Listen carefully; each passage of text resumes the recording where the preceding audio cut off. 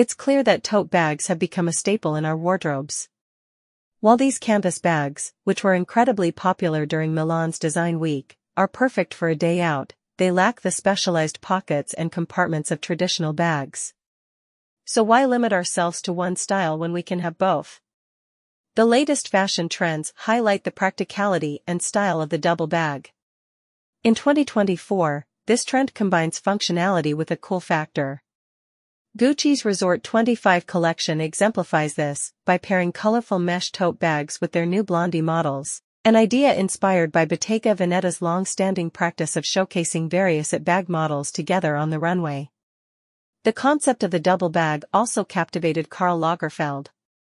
For Chanel Spring Summer 2019 collection, he ingeniously paired iconic crossbody models on a single shoulder strap. This innovation influenced other designers like Givenchy and Tory Burch that same year. Fendi paid homage to Lagerfeld in their fall-winter 2019 to 2020 collection by combining baguette models and messenger bags adorned with logos, a trend they revisited in their fall-winter 2024 to 2025 collection with contrasting silhouettes and colors. Coach has also embraced this trend, reflecting the growing popularity of eclectic, over-accessorized looks.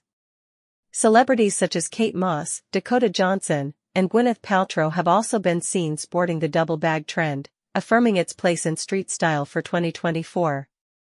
Do you find yourself stepping out with two bags too?